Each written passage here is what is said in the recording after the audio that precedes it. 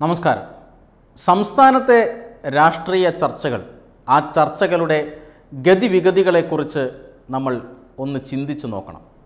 ഇന്ന് കോൺഗ്രസിന്റെ പുറത്തേക്കുള്ള വാതിലിന്റെ അറ്റത്ത് നിൽക്കുന്ന അല്ലെങ്കിൽ പുറത്തേക്കുള്ള വാതിലിൽ നിന്ന് വാതിലിൽ നിന്ന് പുറത്തേക്ക് നോക്കി നിൽക്കുന്ന കെ വി തോമസിനെ കുറിച്ചാണ് ചർച്ചകൾ മുഴുവൻ.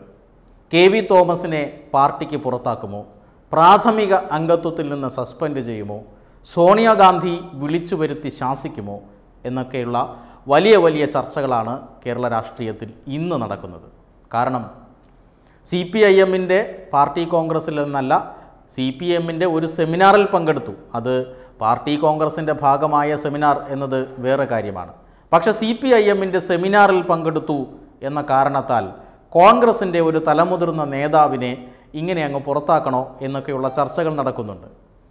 കെ മുരളീധരൻ ആദ്യം തോമസ് മാഷിനെ ഒന്ന് അനുകൂലിച്ചൊക്കെ സംസാരിച്ചു നോക്കിയെങ്കിലും തോമസ് മാഷ് സമ്മേളനത്തിൽ ചെന്ന് മുഖ്യമന്ത്രി പിണറായി വിജയനെ വല്ലാതെ പുകഴ്ത്തി കളഞ്ഞു.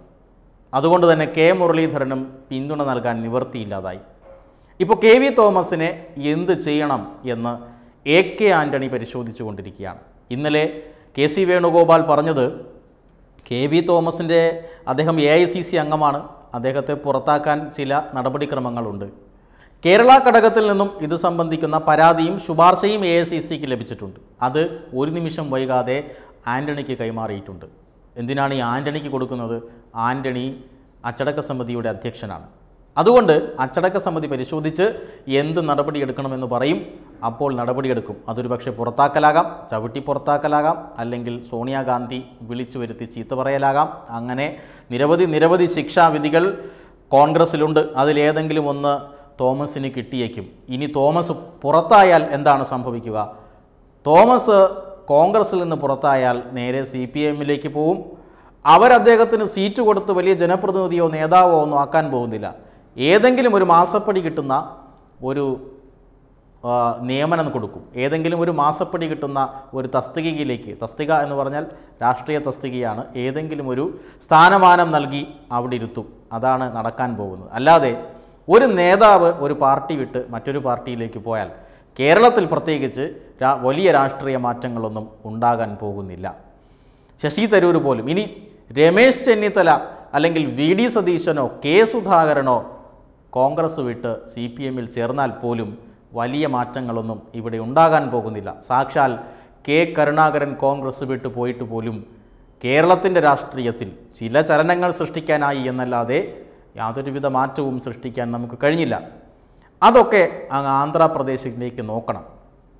ഇന്ന് വൈ എസ് ആർ കോൺഗ്രസിന്റെ അതായത് ജഗൻമോഹൻ റെഡ്ഡിയുടെ നേതൃത്വത്തിലുള്ള മന്ത്രിസഭയുടെ പുനഃസംഘടനയാണ്. രണ്ടര വർഷം തികയുമ്പോൾ ഇരുപത്തിനാല് മന്ത്രിമാരും രാജിവെക്കുന്നു. പുതിയ ഇരുപത്തിനാല് മന്ത്രിമാർ ചുമതലയേക്കുന്നു ഇരുപത്തിനാല് പേരും പുതിയതല്ല പതിനാല് പേർ പുതുമുഖങ്ങളാണ് പതിനൊന്ന് പേരെ നിലനിർത്തിയിട്ടുണ്ട്. അങ്ങനെ പുതിയൊരു മന്ത്രിസഭ ഇന്ന് അധികാരമേൽക്കുകയാണ്. ജഗൻമോഹൻ റെഡ്ഡി മന്ത്രിസഭയുടെ ആദ്യത്തെ പുനഃസംഘടനയാണ്. അദ്ദേഹം ആ രണ്ടായിരത്തി പത്തൊൻപതിൽ അധികാരത്തിൽ വന്ന സമയത്ത് തന്നെ പറഞ്ഞിരുന്നു രണ്ടര വർഷം കഴിയുമ്പോൾ മന്ത്രിസഭാ പുനഃസംഘടന നടക്കും ചില മന്ത്രിമാരെ ഒഴിവാക്കും ചില മന്ത്രിമാരെ നിലനിർത്തും എന്ന്. അദ്ദേഹം പറഞ്ഞ ഇന്നലെ പറഞ്ഞ ഒരു വളരെ പ്രധാനപ്പെട്ട കാര്യമുണ്ട്. അതായത് ഒഴിവാക്കപ്പെട്ട മന്ത്രിമാരെക്കെല്ലാം അദ്ദേഹം പാർട്ടി ചുമതല നൽകും. മന്ത്രി എന്ന നിലയിൽ ആർജിച്ചെടുത്ത അനുഭവ സമ്പത്ത് കൊണ്ട് പാർട്ടിയെ വളർത്തുക രണ്ടായിരത്തി ഇരുപത്തിനാലിൽ പാർട്ടിയുടെ വിജയം ഉറപ്പിക്കുക ഇതൊക്കെയാണ് താത്വിക വിശകലനമെങ്കിലും രണ്ടര വർഷം കൊണ്ട് അടിച്ചു മാറ്റിയതൊക്കെ മതി. ഇനി അടുത്ത ആൾക്കാർക്ക് അവസരം കൊടുക്കുക എന്നും ആകാം. നമുക്കറിയില്ല. പക്ഷേ എന്തായാലും അവിടെ ജഗൻമോഹൻ റെഡ്ഡി ഒരു മന്ത്രിസഭാ പുനഃസംഘടന എല്ലാ മന്ത്രിമാരെയും ഞൊണ്ടിയിടയിൽ രാജിവെപ്പിച്ച് പുതിയ മന്ത്രിമാരെ ഉൾപ്പെടുത്തി ഇന്നിതാ സത്യപ്രതിജ്ഞ നടക്കുകയാണ്. ജഗൻമോഹൻ റെഡ്ഡിയും ഒരു കോൺഗ്രസ് നേതാവായിരുന്നു. കോൺഗ്രസ് നേതാവെന്ന് മാത്രമല്ല കോൺഗ്രസിന്റെ ഉരുക്കുകോട്ടയായിരുന്ന ആന്ധ്രാപ്രദേശ് ഭരിച്ചിരുന്ന മുഖ്യമന്ത്രിയുടെ മകനാണ് വൈ എസ് രാജശേഖര റെഡ്ഡിയുടെ മകനാണ്. അദ്ദേഹം കോൺഗ്രസിൽ നിന്ന് തെറ്റിപ്പിരിഞ്ഞ് അഭിപ്രായ വ്യത്യാസം കാരണം കോൺഗ്രസിൽ നിന്ന് സോണിയാഗാന്ധി ചവിട്ടി പുറത്താക്കി. പക്ഷേ കെ വി തോമസ് പോകും പോലെ അല്ല ജഗൻമോഹൻ റെഡ്ഡി പോയത്. അവിടെ ഭരണകക്ഷിയായിരുന്ന അല്ലെങ്കിൽ ഒരു കാലത്ത് ആന്ധ്രാപ്രദേശ് അടക്കി വാണിരുന്ന കോൺഗ്രസിനെ ഒന്നുമല്ലാതാക്കി തകർത്ത് തരിപ്പണമാവുകയാണ് അല്ലെങ്കിൽ ആക്കുകയാണ് ജഗൻമോഹൻ റെഡ്ഡി ചെയ്തത്. രണ്ടായിരത്തി പത്തൊമ്പതിലെ തെരഞ്ഞെടുപ്പിൽ ആന്ധ്രാപ്രദേശിൽ ആകെ നൂറ്റി എഴുപത്തി അഞ്ചംഗ അസംബ്ലിയിൽ നൂറ്റി അൻപത്തി ഒന്ന് സീറ്റും നേടി അൻപത് ശതമാനം വോട്ട് ഷെയറോടുകൂടിയാണ് ജഗൻമോഹൻ റെഡ്ഡി അധികാരത്തിൽ വന്നത്.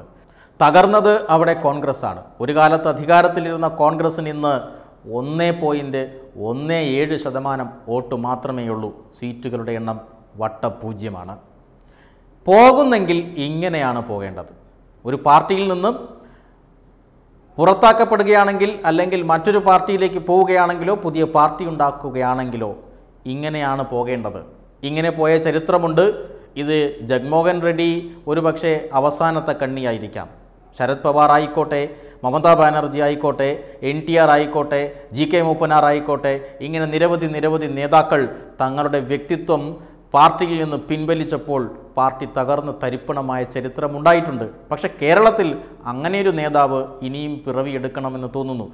സാക്ഷാൽ കരുണാകരന് പോലും സാധിച്ചിട്ടില്ല. പിന്നെയാണ് കെ വി തോമസിന്.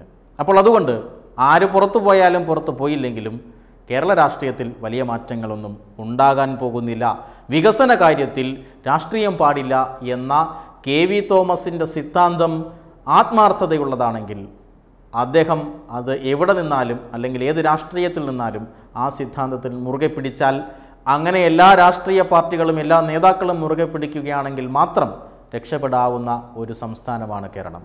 വെബ് ഡെസ്ക് തത്തുമയി ന്യൂസ്.